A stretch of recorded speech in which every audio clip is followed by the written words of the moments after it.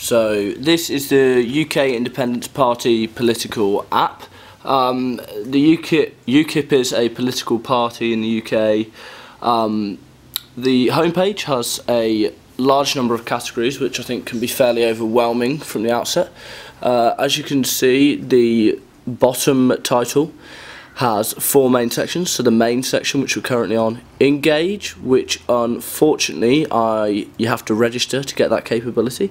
Um, social, which is just tweets and Facebook and things like that from various UKIP supporters, and settings. So you can link your Facebook and Twitter account. Um, so we go back onto the main page, and we have eight categories here.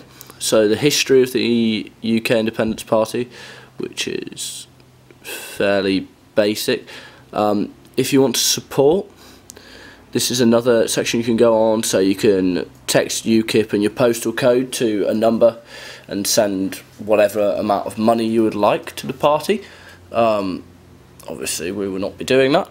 Events um, so this is all of the events that will be occurring at some point. This hasn't been updated particularly, so the last event here is the January 3rd, 2011. So it needs updating really, that's a criticism of it. The videos, um, so this links into the YouTube channel for UKIP um, and we have all sorts of interviews with Nigel Farage, the head of UKIP.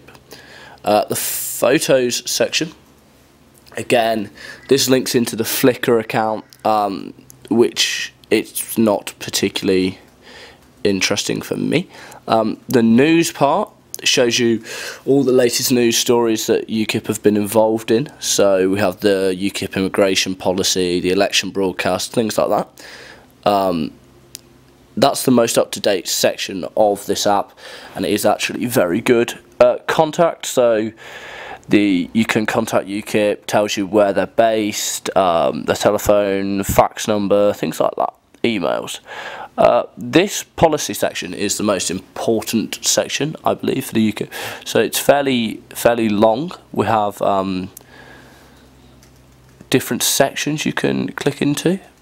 So I'm going to click into the pensions. So you see their policy on pensions. Um, again this go this scrolls all the way through and there aren't they aren't really subsections they're just links down to the part of the document you want to see um, overall this app is pretty poor um, the setout and layout isn't particularly welcoming when you first log on um, it looks particularly unprofessional in my view um, and I would give the app a 3 out of 5. The policy section could be done a lot better. They need to update the events more often since the last event was from January 3rd, 2011 and they need to look at this app seriously to develop it and make it a lot better.